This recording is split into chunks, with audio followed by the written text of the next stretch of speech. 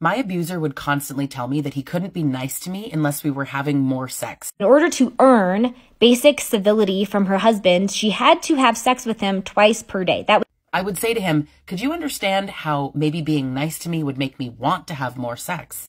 And he would say, Can you understand how having sex with me would make me want to be nicer to you?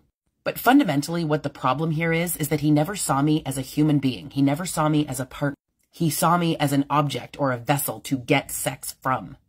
Ultimately, even though we were in a committed relationship, he wanted me to earn his kindness with my body. What she deserves for not having sex with me. That is the natural consequence of not having sex right when I want to do it, as often as I want to do it. That he would say to me all the time, I can't be nice to you when I feel sexually frustrated. And I would say, I can't have sex with you when you are so mean to me. And sadly, you know, there's a lot of men like him that just won't be able to see the difference. Telling your partner that you're not going to be nice to them or treat them with respect unless they have sex with you is coercion. And just for absolute clarity, coercion is rape. And the men who get mad at this are the ones that are doing it too. You justify it so you don't have to admit what you are.